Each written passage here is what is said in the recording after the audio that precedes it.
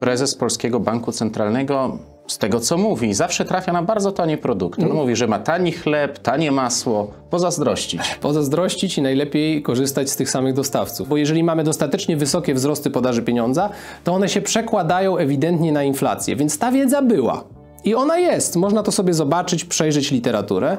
Natomiast zapomniano się, że tak powiem, jeżeli jest jedna rzecz, taka, która jest blisko konsensusu, taka, która jest niekwestionowana i taka, którą uznają ekonomiści różnych szkół i różnych nurtów, to jest to, że dostatecznie duże wzrosty podaży pieniądza będą wywoływać zjawisko inflacyjne. Natomiast jest jeden wyjątek kraju, który właśnie się nazywa Argentyna.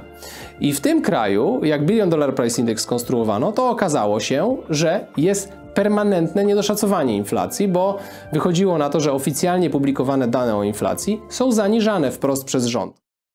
Nam zależy.pl Merytoryczne źródło informacji. Partnerzy kanału Chojnacki i Kwiecień, dystrybutor i producent inwestycyjnych sztabek i monet ze złota i srebra. Agencja marketingowa Efektownia, wsparcie w zakresie sprzedaży i promocji online. Fullbacks, polska firma na miejscu w Chinach, kompleksowa obsługa importu. Dzień dobry, Wojciech Siryk, nam zależy, ten świat jest nasz. Dzisiaj naszym gościem ekonomista, założyciel Instytutu Misesa, Polskiego Instytutu Misesa, Mateusz Machaj.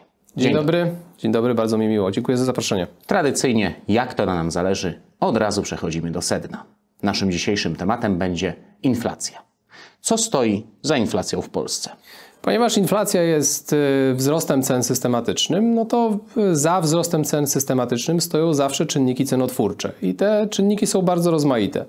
E, w obecnym czasie mamy do czynienia z rekordową inflacją nie tylko w Polsce, ale i też na świecie, więc te czynniki były w pewnym stopniu globalne, ale jednocześnie w każdym z miejsc były lokalne. I takie czynniki mamy trzy przesądzające o wysokiej inflacji. Po pierwsze, e, efekt covidowy związany z lockdownami. No, jeżeli produkcja, generalnie rzecz biorąc, realna jest ograniczana, jeżeli ludzie mają zakaz e, prowadzenia działalności, no to to siłą rzeczy odbija się na ich produktywności. No bo jak się nie produkuje, nie ma produkcji, to nie ma, e, nie ma produktów dostarczanych na rynek. Upraszczając, w związku z tym występuje efekt podażowy w postaci redukcji dostępnych dóbr usług. Czasami też mogą to być zatory jakieś, a takie zatory rzeczywiście się pojawiały w przypadku COVID-u. No więc to był jakiś efekt wywołujący presję na wzrost cen z pewnym opóźnionym zapłonem oczywiście, pięknie widocznym na, na przykładzie samochodów. E, ale nie tylko.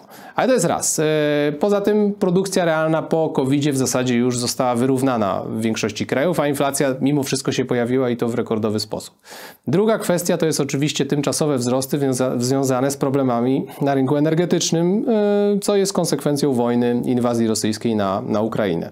Ale najważniejszy czynnik, który był rekordowy w ostatnich latach i który gra największą rolę, dlatego że wszystkie kraje doświadczyły lockdownów covidowych, bo to przecież wpłynęło na całą gospodarkę. Nawet kraje, które nie miały tak naprawdę lockdownów covidowych albo miały je niewielkie, też odczuwały efekty e, lockdownów, bo oczywiście mamy do czynienia z e, daleko posuniętą integracją całej gospodarki światowej.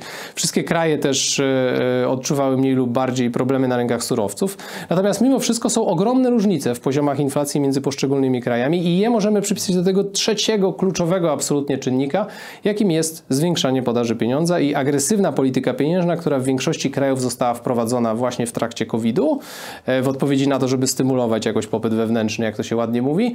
E, no i to jest rzecz, która w różnym stopniu w różnych krajach występowała i okazuje się, że jest to bardzo mocno zależne. E, ten efekt końcowy wysokiej inflacji jest w dużym stopniu zależny od tego, jak głęboko były posunięte te interwencje monetarne, czyli to zwiększanie podaży pieniądza w obiegu.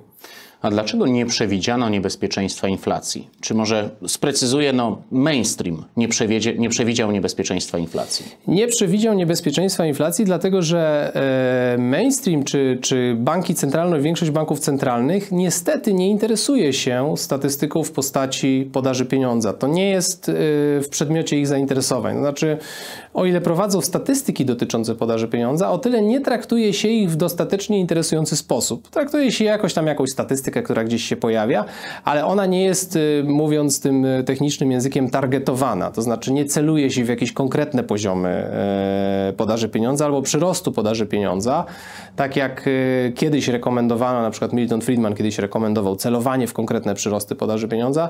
Tego się po prostu nie robi. Kiedyś przywiązywało się do tego większą wagę, aczkolwiek w sumie niektórzy twierdzą, że banki centralne nigdy do tego nie przywiązywały wagi. Więc można zastanowić się, dlaczego Dlaczego się nie przywiązuje wagi? Dlatego, że mm, z technicznych przyczyn, że w sumie nie do końca wiadomo, który dokładnie indeks podaży pieniądza wybrać i jednocześnie ta korelacja, czyli ta zależność podaży pieniądza od finalnego poziomu cen, ona e, się załamuje przy niskich poziomach inflacji. I to było takie w sumie, można powiedzieć, wygodne wytłumaczenie, dlaczego my się tą podażą pieniądza w sumie nie zajmujemy. Banki centralne się skupiają na stopach procentowych, obniżają bądź podwyższają konkretne stopy procentowe. To wpływa na kreację pieniądza i na kreację kredytu, jednocześnie na aktywność inwestycyjną i wpływa na poziomy cen. Więc można powiedzieć, że gdzieś tam w tle ten mechanizm podaży pieniądza jest. Ale ponieważ nie da się go łatwo, tak mówi się ładnie, zoperacjonizować, włączyć, włączyć w jakiś prosty, mechaniczny model na zasadzie dźwigni. Obniżam coś e, albo podwyższam, znaczy przyspieszam tempo przyrostu, albo obniżam tempo przyrostu i to nie przekłada się w łatwy, regulacyjnie sposób na efekt końcowy inflacji, ponieważ trudno jest tym zarządzać, no to uznano, że skoro trudno jest tym zarządzać, to w sumie nie będziemy do tego przywiązywać wagi i skupimy się na czymś innym. E, niestety e, zignorowanie tego właśnie doprowadziło do tego, że nie przewidziano czegoś, co w zasadzie dało się przewidzieć, co na przykład e, ekonomiści od nas to się pojawia w materiałach, można łatwo to zobaczyć, opracowania u nas na Mises.pl Mateusza Benedyka, Przemysława Rabki i Arkadiusza Sieronia, e, w których ostrzegali przed tym, że taka wysoka inflacja się pojawi. Właśnie skupiając się na tych agregatach monetarnych, które są ignorowane przez e, banki centralne niestety. A jak to w końcu jest? Czy ekonomiści zgadzają się co do tego, że dodruk powoduje inflację, czy nie? No to jest bardzo dobre pytanie, bo e, zgadzają, można powiedzieć, że tak. Y, teraz mówię już nie z perspektywy tam Austriackiej Szkoły Ekonomii, tylko z perspektywy faktycznej literatury. Tak, to nie jest mój wymysł, to jest literatura naukowa, systematyczne przeglądy dotyczące statystyk podaży pieniądza i poziomów inflacji. I teraz e, w tejże e, głównonurtowej literaturze mamy takie systematyczne przeglądy, które pokazują ewidentnie, że znaczące przyrosty w podaży pieniądza powodują wzrosty inflacji, ale te korelacje są często widoczne przy inflacji znaczącej, e, powyżej 10%. Jak się zrobi trochę, są takie przeglądy, które idą dalej, robią korekty pewne, o pewne czynniki zakłócające i pokazują, że nawet przy 5% ta zależność jest. No ale odstawmy to, powiedzmy, można to uznać, że to jest jako trochę krytykowanie tego, co jest. Ale absolutnie bezsprzeczne jest to, że jeżeli mamy poziomy inflacji powyżej 10%, albo jeżeli mamy dostatecznie wysokie wzrosty podaży pieniądza, to one się przekładają ewidentnie na inflację. Więc ta wiedza była. I ona jest, można to sobie zobaczyć, przejrzeć literaturę. Natomiast zapomniano się, że tak powiem, bo przez długie lata żyliśmy w niższych poziomach inflacji i przy łagodniejszych przyrostach podaży pieniądza, więc jak gdyby w kąt poszło coś, co od zawsze mogło być sygnałem ostrzegawczym. E, tylko po prostu, no, jakbym, powiedzmy tak, jakbym wyszedł z założenia głównonurtowego ekonomisty, takiego, który pracuje w banku centralnym, to bym mówił do bieżącego zarządzania naszego celu inflacyjnego w sumie nie patrzmy na tą podaż pieniądza, ale jak przekroczymy pewien poziom krytyczny, gdzie przesadzimy, to mamy przecież dowody na to, że ta zależność jak najbardziej jest i wtedy powinna nam się zapalić lampka ostrzegawcza. I to jest to, co zrobili ekonomiści od nas z Instytutu Misesa, których przed chwilą wymieniłem, którzy zwrócili na to uwagę, że wzrost jest bezprecedensowy, że takiego wzrostu nie było na przykład w 2008 roku, kiedy były interwencje po największej recesji czasów. Teraz te wzrosty były absolutnie rekordowe i nic dziwnego, że powróciliśmy do czegoś, co wiemy z badań, bo te systematyczne przeglądy, o których powiedziałem, to one są robione na przykład na kilkudziesięciu krajach, na przykład na 110 krajach na przestrzeni 30 lat. Więc to jest można powiedzieć, że to jest jedna z najbardziej utrwalonych, powszechnych i znanych prawd makroekonomii. Różne są w ekonomii prawdy i są różne kontrowersje, tak, dotyczące rozmaitych aspektów y, i mikroekonomicznych, i makroekonomicznych. Natomiast jeżeli jest jedna rzecz, taka, która jest blisko konsensusu, taka, która jest niekwestionowana i taka, którą uznają ekonomiści różnych szkół i różnych nurtów, to jest to, że dostatecznie duże wzrosty podaży pieniądza będą wywoływać zjawisko inflacyjne. I to jest widoczne, tak jak powiedziałem, w każdym kraju praktycznie, w którym takie analizy się robi. Niestety o tym zapomniano, no bo błogo żyto w realiach, których przez długie lata inflacja była jednocyfrowa, więc ta korelacja, czyli ta zależność podaży pieniądza od poziomu cen się gdzieś tam ślizga, załamuje. Natomiast e, e, no, to się zmieniło w momencie, kiedy wyszliśmy poza ten obszar komfortu, polegający na tym, że te wzrosty nie były dostatecznie wysokie, żeby tą dwucyfrową inflację wywołać. No dobrze, bardzo mocno podkreślasz tutaj ten czynnik podaży pieniądza, więc zapytam, czy wobec tego banki centralne nie mogłyby tak po prostu tej podaży pieniądza ograniczyć? Wprost mogłoby być ciężko. To był jeden z zarzutów do programu Miltona Friedmana, który twierdził, że podaż pieniądza w systemie bankowym powinna być sterowana przez banki centralne. Problem jest taki, że podaż pieniądza w systemie bankowym jest częściowo tak zwana endogeniczna, więc ona jest częściowo generowana przez same banki. I w sumie deterministycznie e, nie da się stworzyć takiego schematu regulacyjnego działań, żeby one były responsywne, żeby łatwo tą podaż pieniądza rzeczywiście sterować i konkretnie targetować, że tak się wyrażę. A nawet jeśli byśmy wymyślili regulacje, żeby konkretną, e, konkretną statystykę podaży pieniądza targetować, to mamy finansowe innowacje i może się okazać, że banki wymyślą coś, co będzie podażą pieniądza, ale do formalnej regulacji jako podaż pieniądza się nie zaliczy. I taka innowacyjność banków jest znana od lat. Ona już się nawet pojawiła w latach 20. wieku XX 100 lat temu i odegrała bardzo istotną rolę w generowaniu bańki i potem wielkiego kryzysu, który na całym świecie się odbił. Więc jak gdyby mm, e, jest w pewien sposób zrozumiałe, że z perspektywy planisty może być trudno celować w konkretne poziomy podaży pieniądza, które następnie przełożą się makroekonomicznie na, na nasze efekty. Dlatego ja na przykład nie jestem zwolennikiem, uważam, że śledzenie albo właśnie celowanie w jeden konkretny indeks podaży pieniądza niekoniecznie wywoła, mm, znaczy niekoniecznie wywoła te efekty z perspektywy planisty, które chcemy wywołać, bo może się okazać właśnie, że banki stworzą pewne narzędzia, które się wymkną tej regulacji, a będą skutkować tym, że podaż pieniądza będzie dalej rosnąć i dalej będzie wywoływać na przykład efekty inflacyjne. Więc jak gdyby na tym poziomie czysto planistycznego zarządzania jest sporo racji w tym, że banki centralne to porzuciły i zaczęły się koncentrować per se na stopach procentowych, na tym, żeby sterować ceną tego generowanego pieniądza przez bank centralny, który następnie jakoś tam w operacjach międzybankowych wpływa na to, jak generują to banki, etc. Więc jak gdyby skupili się na koszcie tego generowanego pieniądza, a nie na samej ilości generowanego pieniądza.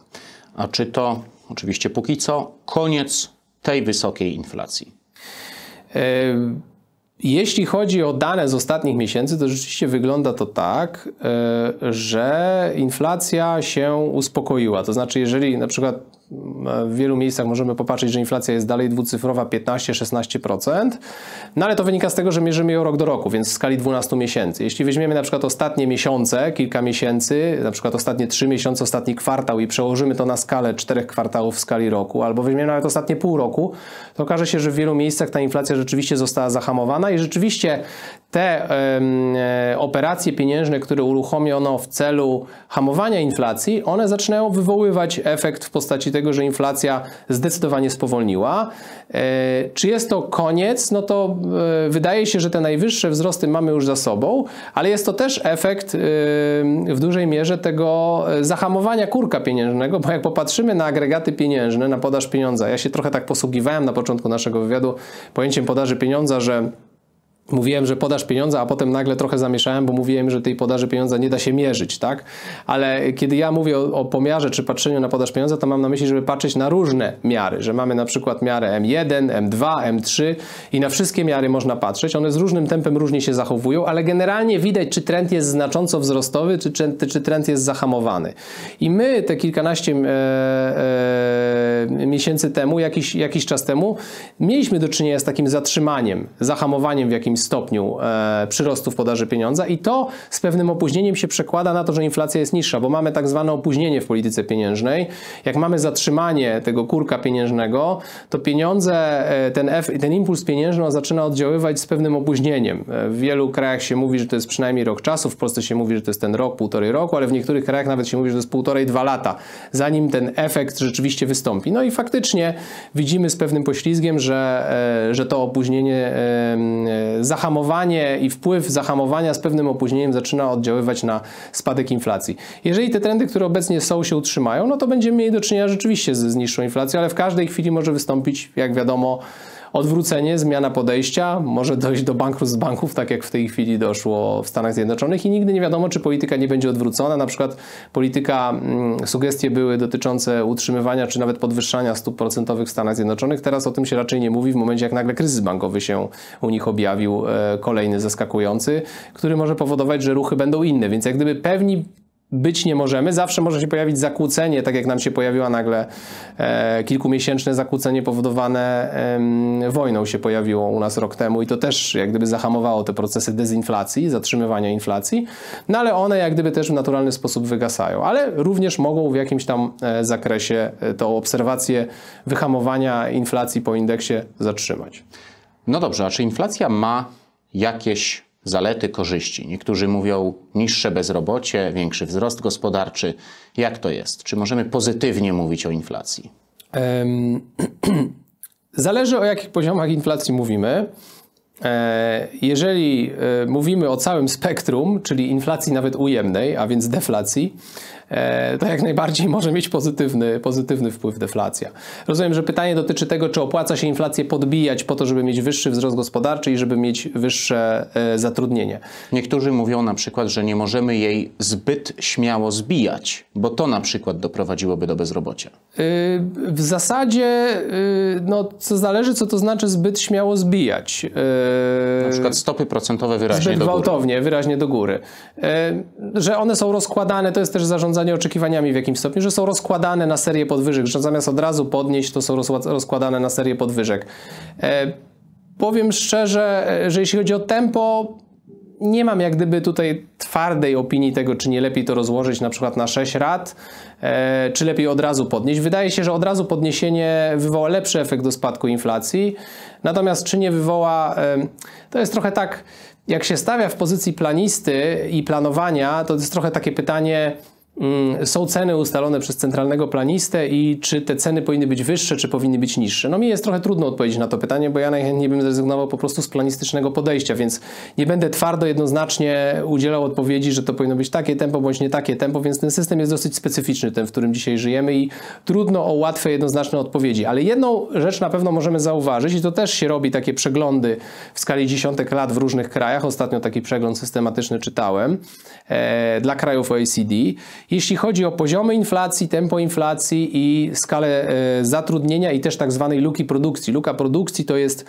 jak gdyby różnica między tą produkcją rzeczywistą, a tą, którą moglibyśmy mieć. Czyli jak gdyby taka coś, co pokazuje nam, czy jesteśmy w recesji tak naprawdę głębokiej, czy nie, że mamy pewien poziom PKB, czy tam produkcji i że on jest niższy od tego, co moglibyśmy mieć, gdyby, gdyby inna sytuacja była. I autorzy próbowali odszukać wzięli te tak zwane, to się ładnie nazywa stylizowane fakty i próbowali odszukać jakichś ilościowych relacji między jedną a drugą rzeczą i generalnie konkluzja była nihilistyczna, e, przynajmniej z perspektywy planistycznej takiej relacji twardej gdzieś między inflacją i zatrudnieniem, czy między produkcją, między produkcją, osiąganiem produkcji e, potencjalnej za pomocą produkcji rzeczywistej, takiej twardej relacji ilościowej nie udało się znaleźć. Nie ma uniwersalnych, to jest coś, co mówią często ekonomiści austriaccy cały, cały czas, tak, że często cały czas, że mm, e, nie da się twardych ilościowych relacji odnaleźć i tak samo e, nie ma twardej ilościowej relacji, która nam pokaże, że wyższa inflacja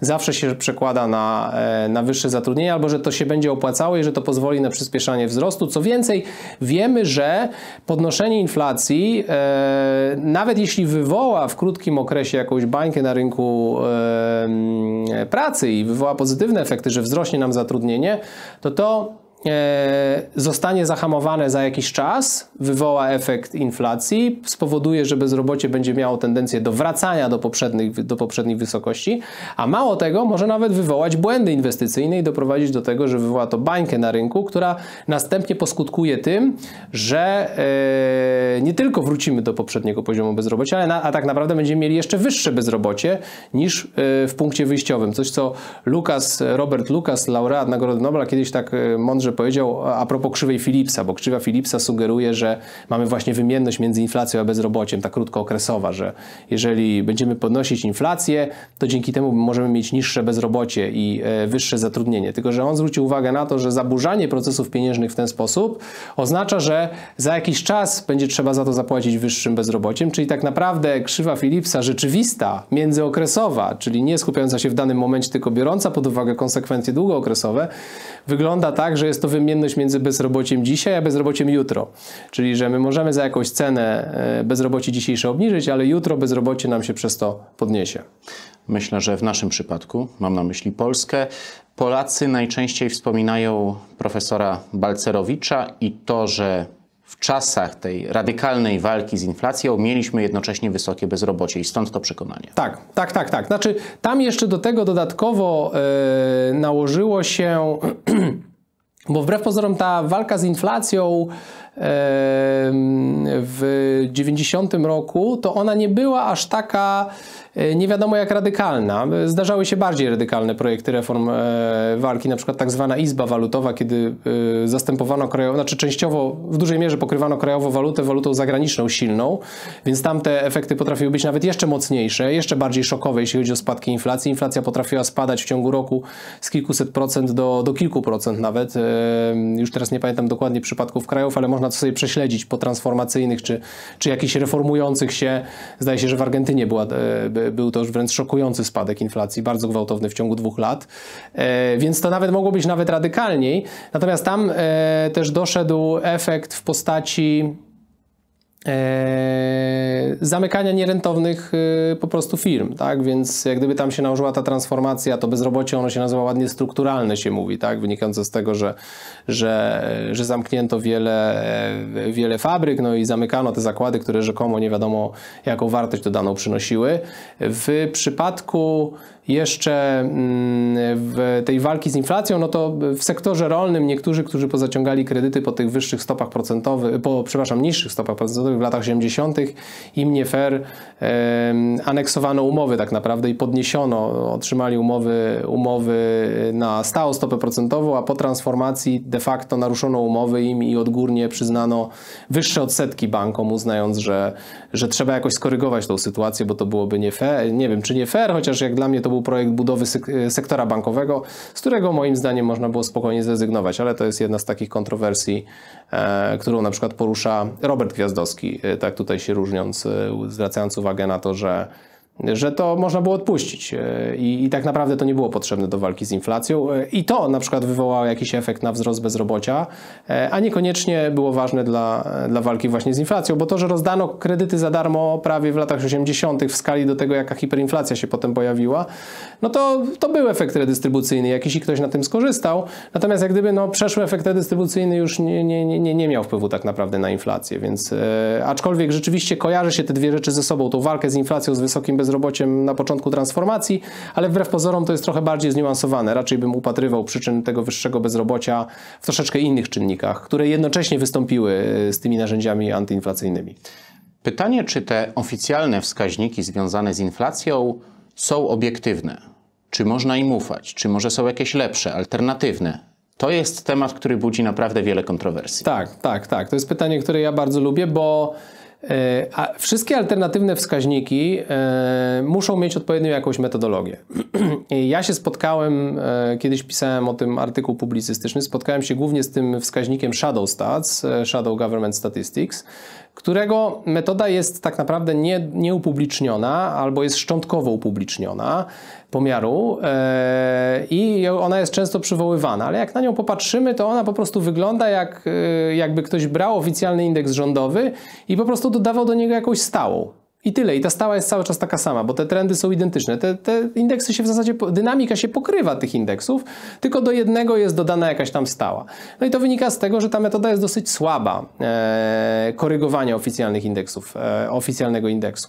Drugi, jaki się jeszcze spotkałem, to też jest nieopublikowany Chapwood Index, to e, ktoś mi go wspominał, e, który też e, ma zupełnie śliską metodologię, więc e, to, żeby ocenić te indeksy, to one musiały być poddane publicznej dyskusji, czyli ktoś musiałby napisać dokładnie, jak one są robione, pokazać metodę konstrukcji takiego indeksu i poddać to pod dyskusję w swoim środowisku, w środowisku na zewnątrz. Można nawet gdzieś opublikować to naukowo i rozpocząć debatę na temat tego, czy ten indeks nie będzie lepszy. Natomiast jeżeli ktoś tylko jakiś indeks sobie produkuje i mówi, że taki indeks ma i on ma niby być lepszy i my musimy wierzyć mu na słowo, no to tak naprawdę jest jeszcze gorzej niż stosowanie indeksu rządowego, który przynajmniej jest poddany e, publicznej publicznej dyskusji i tego, jak, za pomocą jakich metod się go konstruuje. Ale jest jeden indeks, o którym mogę wspomnieć, który wymyślili ekonomiści amerykańscy, mm, Billion Dollar Price Index i to jest taki indeks, w którym się śledzi ceny online. Wszystkie, wiele, wiele po prostu tysięcy cen online się po prostu obserwuje, jak one się zmieniają i na ich podstawie się konstruuje tempo inflacji i można je następnie porównać z tymi formalnymi, urzędowymi indeksami, które są generowane przez poszczególne lokalne władze. I wtedy możemy rzeczywiście sobie sprawdzać, czy ten indeks inflacji e, oddaje to samo, czy nie. Ja celowo nie chcę powiedzieć, czy oddaje lepiej, czy gorzej, Bo inflacja jest takim procesem, gdzie mamy różne grupy interesu. Znaczy, e, jak się zastanowimy nad tym, jak jest inflacja, e, koszyk inflacyjny, czy koszyk, na podstawie którego wylicza się inflacja, jest konstruowana, no to my patrzymy mniej więcej na statystycznego konsumenta. Mamy pojęcie reprezentatywnego konsumenta, czyli patrzymy statystycznie, że tyle procent ludzi wydają na żywność, więc tyle procent w koszyku to będzie żywność. Tyle procent ludzie wydają na chodzenie do restauracji i do kin, więc tyle procent w koszyku to, będzie, to będą restauracja i kina. Tyle wydają na paliwo, to tyle będzie paliwo. I e, to jest konstrukcja taka reprezentatywna, więc jeżeli ktoś na przykład nie jeździ w ogóle autem albo w ogóle nie chodzi do restauracji, to ten koszyk dla tej osoby jest niereprezentatywny. Jeżeli ktoś jest emerytem już troszeczkę podupadającym na zdrowiu, no to znacząca część koszyka to są wydatki na leki, a ktoś jest na przykład studentem, to na leki praktycznie nic nie wydaje. Tak, może na na jakieś leki po, poimprezowe od czasu do czasu, które nie są znaczącą częścią wydatków. E, więc jak gdyby różnice są ogromne e, w poszczególnych koszykach. Inny koszyk ma e, prezes banku, który wydaje na rozmaite usługi e, i przyjemności sobie pieniędzy, a inny... Prezes Polskiego Banku Centralnego z tego co mówi, zawsze trafia na bardzo tanie produkty. On mówi, że ma tani chleb, tanie masło, pozazdrościć. Pozazdrościć i najlepiej korzystać z tych samych dostawców, chciałoby się rzec. E, no ale reklamować nie może, więc nie może udostępniać informacji, a szkoda. Ale oczywiście mu wierzymy. Tak, jak najbardziej. E, to jest tak zwane notabene zarządzanie oczekiwaniami, bo mówi się, że oczekiwania w tej krót, zwłaszcza w tej pierwszej fazie, oczekiwania inflacyjne ogromną rolę odgrywają, więc próba zarządzania oczekiwaniami, że tu jest tanie, tu jest tanie, to ma wywołać efekt, trochę efekt taki zaklęcia na gospodarkę, że ta inflacja ma być wolniejsza niż by była bez tego mówienia, że, że wcale inflacja e, nie jest, e, nie, nie, znacząco nie wzrasta. I teraz, ponieważ mamy różne te koszyki, to każdy ma indywidualną inflację, każdy ją indywidualnie odczuwa i każdy ma swój koszyk, który może pokazać pokazywać większe bądź mniejsze tempo wzrostu, w zależności od tego, co w ten koszyk wkłada, czyli to, jakie ma miesięczne wydatki. Więc e, nie istnieje jeden najlepszy obiektywny indeks inflacji. To trzeba sobie uczciwie powiedzieć. I my te koszyki też, e, zarówno jako makroekonomiści, jak i też w bankach centralnych, oni sobie te koszyki konstruują, żeby mniej więcej widzieć dynamikę, a nie żeby twierdzić, że ten jeden koszyk indeksu utrzymania jest lepszy od drugiego. I teraz wracając do tego Billion Dollar Price Index, bo to jest interesujące. Mm, on w wielu przypadkach, jak się zrobi to dla poszczególnych krajów e, i porówna to z lokalnymi, e, z tym, co lokalne władze zaoferowały, to wychodzą bardzo podobne dynamiki. One czymś się różnią, czasami ten indeks jest większy, czasami jest mniejszy, jeśli chodzi o tempo przyrostu. Natomiast jest jeden wyjątek kraju, który właśnie się nazywa Argentyna. I w tym kraju, jak Billion Dollar Price Index skonstruowano, to okazało się, że jest permanentne niedoszacowanie inflacji, bo wychodziło na to, że oficjalnie publikowane dane o inflacji są zaniżane wprost przez rząd. Więc jak gdyby metoda e, internetowego pomiaru cen i e, pomiaru wielu cen potrafiła rzeczywiście ujawnić rządową manipulację, więc tutaj jak najbardziej spiskowanie e, rządu rzeczywiście wystąpiło i to ono też najprawdopodobniej wystąpiło na, na wysokich szczeblach, dlatego że proces w ogóle budowania indeksu cen to jest tak, że się wysyła jakichś pracowników, którzy idą i zbierają ceny na rynku i obserwują ceny poszczególnych produktów, dokładnie tych samych produktów w danym momencie. Te ceny są zbierane i potem jak gdyby jest pytanie, na jakim etapie zafałszowano te dane. Tak? Wszystko wskazuje na to, że ten indeks był na samym końcu tego procesu zafałszowany, bo Tendencje były podobne, tylko znowu było widać, tak jakby ktoś dodał stałą, jak odjął w zasadzie stałą jedną, że ta, ta tendencja jest tak jak gdyby obniżona w wielu miejscach yy, dokładnie o ten sam poziom, że ładnie te indeksy ze sobą razem współgrają. No i w ten właśnie sposób, to jest, ja lubię ten przykład podawać, bo yy, jak gdyby no niektórzy wychodzą z założenia, że powinniśmy stać na stanowisku, że rząd zawsze kłamie przy każdej okazji i to jest yy, default position tak zwane, tak, od którego zawsze trzeba wyjść. No ja takiego zwolennikiem podejścia nie jestem, raczej trzeba dowieść, że mamy do czynienia z kłamstwem, bo czasami opłaca się rządom mówić prawdę, tak. Czasami jest też tak, że trudno jest rządom ukryć prawdę prawdę. Więc jak gdyby to taki punkt wyjściowy, że zawsze mam do czynienia z kłamstwem, nie jest dobrym podejściem. Natomiast trzeba jak gdyby mieć ten e, przegląd e, krytyczny, do wszelkich danych podchodzić krytycznie i analizować je z różnych stron. No i tutaj mamy taki przykład wymyślenia metody, która jest poddana pod publiczną dyskusję w odróżnieniu od tych indeksów, o których mówiłem wcześniej. Więc ona jest upubliczniona, e, są publikacje naukowe na ten temat, jest dyskusja, ktoś recenzował ten proces, każdy może sobie zobaczyć, jak ten proces wygląda i zabrać wtedy stanowisko. I z niego nam rzeczywiście wychodzi, wyszło coś, co nas wzbogaca, bo to jest cenna informacja, że jednak rządom zdarza się kłamać e, w kwestiach inflacji, aczkolwiek zdarza się zdecydowanie rzadziej niż e, niektórzy chcieliby sugerować. To może trzeba postawić na ten słynny indeks Big Maca. No, indeks Big Maca też jest ciekawy, tylko że y, te, też jest jako kosztu utrzymania. Tak, on, on, on jest dobry porównawczo, on szczególnie też służy do porównywania kursów walutowych do siebie. Przy czym trzeba pamiętać, że no.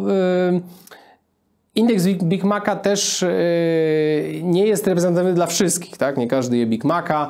Poza tym on może lokalnie zależeć od pewnych uwarunkowań dotyczących albo rynku nieruchomości wbrew pozorom, yy, może też zależeć od tego, co jest importowane, a co nie jest importowane, więc yy, z tym, z tym różnie bywa, ale ja ten indeks też lubię rzeczywiście na niego zwracać uwagę, bo on coś nam pokazuje, jeśli chodzi o koszty. No ale jakoś to tak w Polsce jest, że mało kto wierzy w te dane GUS-u. Tak powszechnie mówi się, no powiedzmy, GUS publikuje 15 i wszyscy niemożliwe na pewno więcej. Nawet w komentarzach na 100% pod tym materiałem nie jedna osoba napisze, że na pewno nie jest w tym momencie 18,4.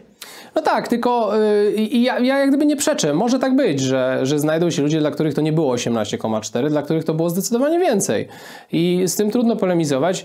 Aczkolwiek o jednej rzeczy musimy pamiętać, że my jako ludzie mamy tendencję do zauważania, zauważania przede, wszystkim, przede wszystkim rzeczy, które nam przeszkadzają. Tak? I jak na przykład widzimy, że papryka kosztuje 28 zł za kilogram, no to dostajemy po prostu wysypki i gorączki. Tak? A jak w tym samym czasie jabłka wcale nie są takie drogie, no to tego już jak gdyby niespecjalnie rejestrujemy. Tak? Albo nawet może się zdarzyć, jak teraz gdzieś czytałem, że kryzys jabłkowy się zapowiada jakiś, więc być może dojdzie do tego, że jabłka nawet będą tańsze. Więc E, I jak gdyby łatwiej nam jest zarejestrować coś, co nas ukuło, przeszkodziło i to sobie zapamiętujemy selektywnie, niż to, co jakoś jak gdyby nie kłuje albo nawet się minimalnie troszeczkę poprawia. Ale znowu, nie przeczę, przy czym e, zamiast polegać na własnych odczuciach, najlepiej by było sobie zrobić zestawienie swoich autentycznych rachunków, bo to możemy łatwo zrobić, szczególnie, że no wstecz może być ciężko, bo trzeba by było rejestrację zrobić, ale jak ktoś bardzo, bardzo chce prześledzić sobie ewentualnie, ewentualnie to, jak inflacja się zachowuje, to niech rejestruje faktycznie swoje wydatki, skonstruuje swój koszyk, popatrzy jak on wygląda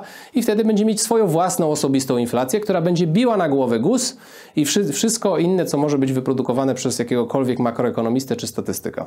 To ciekawe z tymi jabłkami. Przypominam sobie, że Ładnych kilka lat temu już powszechnie w Polsce jedliśmy jabłka i to na złość Putinowi wtedy jeszcze. Tak, zresztą jabłka mają swoją e, ogromną też rolę w e, kampaniach wyborczych. E, Mieliśmy Rozdawanie jabłuszek, tak? Nie, nie. Mieliśmy do czynienia z kiedyś, jak jeszcze w kampaniach wyborczych zdarzały się debaty polityków ze sobą. Teraz raczej się unika debat, raczej się siedzi w swoich tych bańkach medialnych. To była słynna debata dwóch przedstawicieli wielkich partii, w której właśnie padła, padło pytanie o jabłka, które miało zawstydzić, które ponoć odegrało dużą rolę w tym, jak się sondaże e, kształtowały. Potem nie wiem, na ile to jest prawda, to trzeba było zapytać politologów, czy rzeczywiście tak było, ale jabłka właśnie legendarnie, e, legendarnie się pojawiły w takiej jednej z dyskusji. Więc one mają swoje znaczące miejsce miejsce w polskiej e, nie tylko jadłodajni, ale, ale kulturze i w polityce. To na sam koniec poproszę może o odrobinę pozytywnego przekazu. Jakie rozwiązania mogłyby zapobiec powtórce z rozrywki, czyli ponownej wysokiej inflacji? No cóż, e, to oczywiście musiałoby się wiązać z redukcją polityzacji produkcji pieniądza, bo to, e, co jest kluczowe w wysokich poziomach inflacji, wiążące się z przyrostami w podaży pieniądza jest wprost zależne od tego, że pieniądz został spolityzowany. E, polityka i rządy mają ogromną rolę i wpływ na to, jak jest generowana podaż pieniądza. Nawet jeśli w dużej mierze ona jest generowana w sektorze bankowym, to cała architektura finansowa i jego konstrukcja wygląda tak, że sprzyja to generowaniu dodatkowych pieniędzy. Takie zjawisko na przykład jak hiperinflacja, to jest wynalazek praktycznie, e, poza powiedzmy jakimś tam wyjątkiem e, totalnego wypłukiwania złota z monet, to jest praktycznie wynalazek pieniędzy papierowych wprowadzonych przez rządy. E, jak jest taka jedna książka, ukazała się parę lat temu, można ją nazwać takim właśnie systematycznym przeglądem hiperinflacji różnych, to praktycznie one są immanentnie powiązane z tym, że wprowadzony został papierowy pieniądz w obiegu i to, i to już tak naprawdę w czasach chińskich, e, no ale głównie jest to kojarzone, te hiperinflacje, które nam się pojawiają rekordowe w hiperinflacja, czyli przynajmniej 50% wzrostów cen w skali miesiąca. Tak, ale one się pojawiły w momencie, kiedy ten pieniądz jest produkowany przez rządy. Oczywiście rządy dziś dzisiaj zdając sobie sprawę z tego, że to jest e, szkodliwa rzecz, mają mechanizmy takie właśnie jak banki centralne, które są konstrukcją taką, można powiedzieć, antydemokratyczną, bo Przecież tam się powołuje przedstawicieli władz monetarnych, ich nie można odwołać, e, oni podejmują decyzję w oderwaniu od opinii publicznej, e, praktycznie no, no co, musieliby popełnić przestępstwo albo podać się do dymisji. Są niezależni, mówi się, i dotyczy to prezesów banków centralnych, jak i członków tych kolegialnych, tak jak w Polsce Rady Polityki Pieniężnej. Więc to uniezależnienie, wiele badań empirycznych sugeruje oderwanie od procesu demokratycznego w jakimś stopniu. Wiele badań empirycznych sugeruje, że to wpływa pozytywnie na to, że inflacja nie jest wysoka, ale ona nadal jest jest wpisana w mechanizm długu publicznego i tego, że e, mamy roz, rozbudowany aparat socjalny i generalnie mamy rozbudowany aparat państwowy, publiczny. I teraz, no, Konsekwencją tego nieuchronną jest to, że mamy e, do czynienia z inflacją, mamy do czynienia z sytuacją, w której nie, e, ceny nie spadają wraz ze wzrostem gospodarczym, coś co byłoby naturalnym efektem procesu gospodarczego, akumulacji kapitału i postępu, tylko my mamy te wzrosty cen mniejsze bądź większe. Więc na pytanie, wracając do pytania, co musiałoby się stać, e, żeby doszło rzeczywiście do takiej zmiany? No to trzeba by było pieniądz po prostu zdepolityzować, czyli doprowadzić do sytuacji, w której dostarczałyby go mechanizm rynkowy, co oczywiście jest zadaniem niezwykle trudnym, e, żeby nie powiedzieć niewykonalnym, ale no, mimo wszystko, nawet jeśli to w obecnych warunkach politycznych jest niewykonalne, no to muszę na pytanie odpowiedzieć, że taka możliwość jest. Ona nie wynika z niemożliwości wiążącej się z prawami fizyki, że musielibyśmy złamać jakieś prawa fizyki, żeby, żeby ją wprowadzić, natomiast musielibyśmy połamać rzeczywiście porządek polityczny i prawny, e, zreformować, może nie połamać, tak? nie, nie w sensie takim, że jakieś zamachy robić, bo zamachy pewnie by się skończyły, znając życie, jeszcze gorszymi rozwiązaniami. E, upadek systemu prawnego to by pewnie wprowadził taki rząd, który by e, już się w ogóle nie przejmował ograniczeniami i mielibyśmy do czynienia z drukiem pieniądza w skali wenezuelskiej i pewnie hiperinflacyjnej. E, natomiast no, taka możliwość jak najbardziej jest, tylko rzeczywiście ona jest niezwykle trudna i trudno byłoby ją wpisać w obecny ład e, instytucjonalny. Dla e, ludzi, którzy lubią reformować systemy i, i tak sobie myślą o takim fine-tuningu, czyli naprawianiu świata, świata małymi kroczkami, no to teoretycznie można by było wprowadzić jakieś elementy mm, konstytucji monetarnej, które by coś mówiły, jakoś wzmacniały teoretycznie te organy banków centralnych, y, w tym, że mm, no nie powinny stosować określonego typu narzędzi, na przykład dyskrecjonalnych, takich, które się wprowadza nagle, że się właśnie wtłacza nagłe, nagłe płynności w systemy, kiedy występują kryzysy covidowe albo bankowy, 2008 rok, e, potem kryzys euro. Więc teoretycznie wprowadzenie takiej monetarnej konstytucji, jak to niektórzy określają, była nawet na ten temat książka Lelanda Jegera, to wprowadzenie takiego elementu e, właśnie e, zabezpieczającego teoretycznie w założeniu mogłoby w jakiś sposób zahamować te, te trendy do zwiększania inflacji, aczkolwiek znamienne jest to, że to pojęcie tej monetarnej konstytucji pozostało tylko i wyłącznie w sferze marzeń wielu makroekonomistów i nikt nie wykonał nawet chociażby kroku do tego, żeby próbować to wprowadzić w realnych systemach politycznych. Mimo wszystko trzymamy kciuki. To tyle w głównej części tego odcinka. My mamy jeszcze dwa pytania od patronów, ale to już nagrywamy osobno. Dziękuję za uwagę, dziękuję za rozmowę. Dziękuję bardzo.